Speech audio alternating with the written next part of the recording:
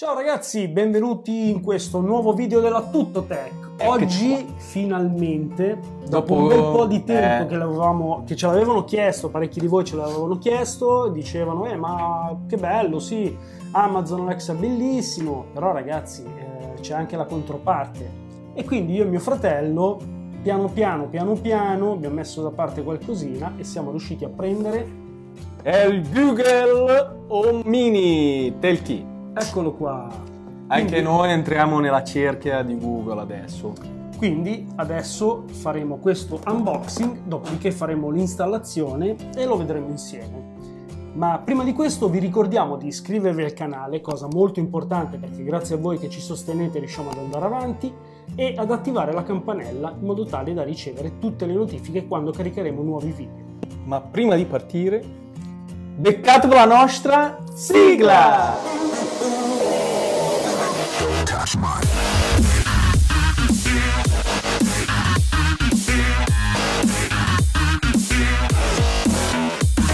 Procediamo con l'unboxing. Apriamo la pellicolina. Il prodotto lo abbiamo acquistato da MediaWorld online ad un prezzo di 29,90 euro. Ritirato proprio stasera, quindi bello fresco fresco, andiamo ad aprire la confezione. Se riesco... Eccolo qua, c'era il barbatrucco. Apriamo. Oh! Eccolo qui. Esteticamente si presenta bene, solito gommino sotto antiscivolo. Questo è il tasto per poter inserire il disattivare il microfono e riattivarlo, cavo di alimentazione, dopodiché dovrebbe esserci ai lati la possibilità con due tasti fisici di poter alzare e abbassare il volume. Continuiamo, vediamo cosa c'è qui sotto. Iniziamo, solito manuale di istruzioni. E poi l'alimentatore micro USB eccolo qua. Quindi abbiamo tutto l'occorrente per poter accendere la scatola adesso è vuota. Via via per prima cosa abbiamo collegato l'alimentazione alla rete elettrica e adesso andiamo ad inserire il micro USB all'interno della sua sede vediamo un po' cosa succede si sono accesi tre led bianchi 4, 4! 4, 3, non so dove lo abbia visti. Sarà la stanchezza post lavoro. Noi continuiamo a fare i video in settimana quando abbiamo tempo, quindi. Ecco qua. I colori di Google. I colori di Google. Ti diamo il benvenuto in Google Home. Oh, per grazie. iniziare, scarica l'app Google Home su un telefono o tablet. Quindi ci consiglia di scaricare l'applicazione direttamente sul cellulare, quindi tra un po' ci trasferiremo sul cellulare e vi faremo vedere come poter configurare il nostro Google Home mini direttamente con eh, il Intanto stai cellulare. attivando qualcosa. Tanto io- Eccolo qui il famoso volume, touch, quindi vi basterà sfiorare Il bordo. il bordo e così potete abbassare e alzare il volume. Ecco spiegata l'ultima parte, diciamo, di Google Home Mini. Perfetto, passiamo sull'applicazione. Il prodotto andrà abbinato, il Google Home Mini andrà abbinato con un telefono della Apple, quindi un iPhone. Così almeno vediamo anche come si comporta con la concorrenza. Andiamo a cercare la app Google Home ed è questa qui, con la casetta. Eccoci, siamo nella app, l'ho aperta direttamente, ci ha chiesto di attivare il Bluetooth per trovare dispositivi nelle vicinanze, gli ho detto di sì e ci dà il benvenuto a casa. Controlla i tuoi contenuti e dispositivi da un'unica posizione e dovrebbe essere guidato come quello del suo concorrente di Amazon. Facciamo comunque in basso a destra il tasto Inizia, ci chiederà di scegliere un account al quale legare il dispositivo. Io sceglierò il mio account e ci vediamo dopo. Ci ha fatto scegliere l'account al quale abbinare il dispositivo. Adesso ci dice crea una casa. Configuro un dispositivo, assegna i tuoi dispositivi alle stanze per controllarli tutti nello stesso posto. Inizia, quindi clicchiamo su Inizia. Qui clicchiamo su Configura nuovi dispositivi. Clicchiamo su Crea un'altra casa e poi in basso avanti. Qui ci chiede di dare un nome così un nickname alla nostra casa. Inventatene uno e poi andiamo avanti. Una volta inserito il nome, il nickname di casa vostra, ricordatevi poi di cliccare sotto sull'indirizzo di casa, perché se no eh, non potrà darvi delle specifiche tipo del meteo come localizzazione. Clicchiamo quindi su indirizzo di casa, qui inserite i, l'indirizzo di casa vostra e dopodiché andiamo avanti. Ci vediamo dopo. Ho inserito l'indirizzo di casa, no, di casa mia, gli ho dato avanti e adesso ci dice vuoi consentire a Google Home di accedere alla tua posizione? Io gli dirò che voglio che mi localizzi quando utilizzo l'app. Sta facendo una ricerca dei dispositivi. Ci sono usciti due, due dispositivi da questa ricerca. Clicchiamo sul primo. Facciamo avanti. Connessione a Google Home Mini. Hai sentito il suono? Ci chiede la conferma e noi diciamo sì.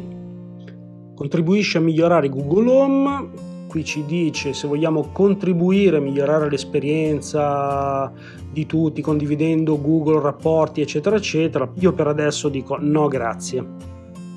Non ti fidi di Google, eh? Ma diciamo che ci vado un po' coi piedi di piombo.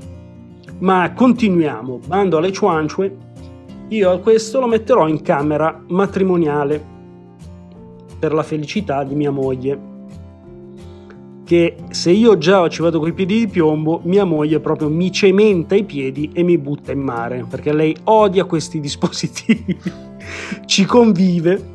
Vabbè, continuiamo, camera matrimoniale, avanti. Ok, ci chiede di collegarci alla rete wifi. Come potete notare, non so se lo notate perché ho pixelato la zona, ma seleziona in automatico la vostra rete perché tramite il cellulare, se quest'ultimo è collegato alla rete di casa, vi va a leggere quella che è la rete presente e quindi ve la seleziona in automatico. Dovrete solamente inserire la password. Quindi ci rivediamo dopo aver fatto questa procedura. Abbiamo inserito la password, diamo collega e adesso aspettiamo che succeda qualcosa. È comparsa la scritta connesso, quindi vuol dire che il nostro assistente vocale è stato configurato con successo. Leggiamo un po' cosa dice. Il dispositivo Google Home Mini è basato sulla tecnologia dell'assistente Google, chiedigli tutto quello che vuoi, bla bla bla bla. Facciamo avanti, è meglio.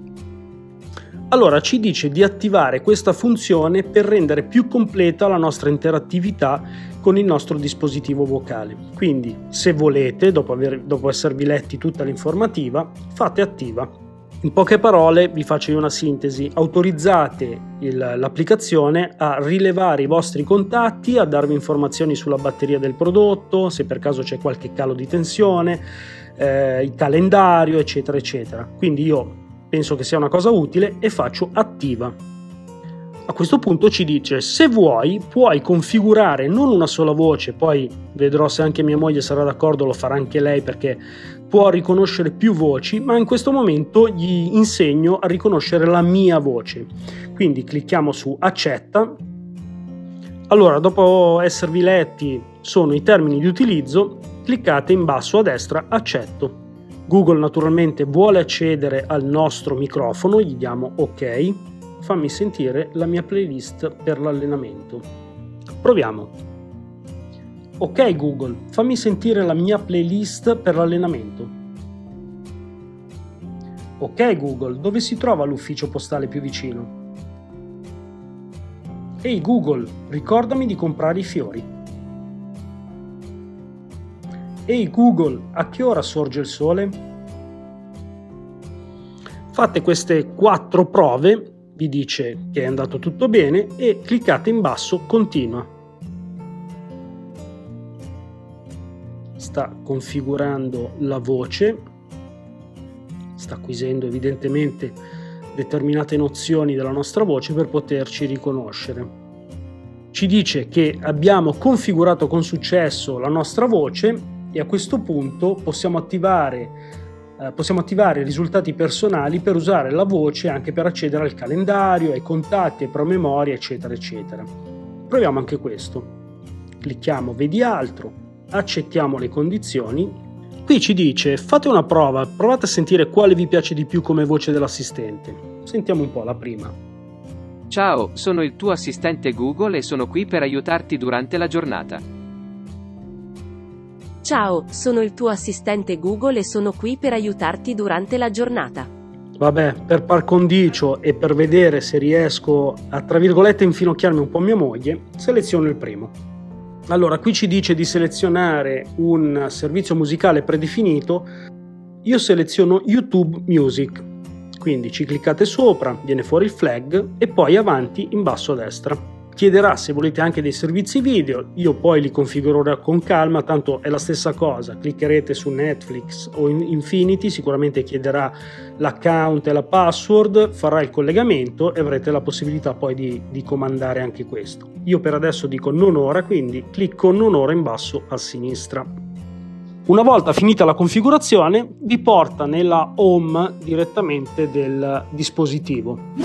Finita la configurazione, come avete visto è molto semplice perché comunque facendo già un piccolo termine di paragone con Alexa vi spiega tutto quello che dovete fare. Dovete avere un account Google, ma la stessa cosa dovete avere un account Amazon. Semplicissimo, seguite tutte le indicazioni, avanti, inserite i dati che, volete, che, che vi chiede e la configurazione avviene in maniera molto semplice. Adesso facciamo una domanda al nostro assistente vocale, vediamo un po' come si comporta. Ehi Google, sei amico di Alexa? Alexa ha una voce molto rilassante. Cosa vuoi sapere? Eh, diciamo che se la cava con queste risposte un po' vaghe, eh? svia un po'. Insomma, un po' un bel lecca, un bel paraculo. Eh, esatto. Eh, bravo, bravo. Come dicevo prima, ho messo la voce maschile così almeno mia moglie magari si convince. Si convince e si converte. No, vabbè, comunque un pochettino li usa non ha già detto di no in camera da letto, eh? Testimone. Proprio, adesso, un secondo fa. Però chi porta i pantaloni in casa sono io e quindi lo metterò in sala. no, devo metterlo per forza di là perché così almeno faremo qualche test. Io direi, Marco, cosa ne pensi di questo prodottino? Ah, la configurazione sono entrambe semplici, Google e Alexa, però è stato molto molto veloce questa qui di Google, col fatto, no, benissimo, benissimo. No, poi abbiamo voluto configurarla sul mio cellulare, io ho un iPhone, per vedere se magari c'era qualche problemino con, con la Apple, ma assolutamente è andato proprio tutto liscio come l'olio. Vedremo poi con i prodotti compatibili, ne, ce ne saranno di occasioni per certo. studiare le differenze anche tra Apple e Android in relazione al Google Home. Come abbiamo promesso appunto a parecchi utenti, adesso rifaremo un bel po' di video per quanto riguarda i collegamenti tra il dispositivo vocale Google e quelli che possono essere le prese smart, il Broadlink, tutta una serie di accessori che vi abbiamo già presentato in, collegati con Alexa. Non diciamo troppo, non diciamo troppo. Ricordatevi di lasciare un bel mi piace. Soprattutto iscrivetevi al canale, sosteneteci e date un'occhiata qui sotto. Cosa c'è qui sotto? Troverete i link che vi riportano ad Amazon dei prodotti che abbiamo testato e di cui trovate tutti i video nel nostro canale. Direi che è tutto. Al prossimo video. Ciao ragazzi. Ciao.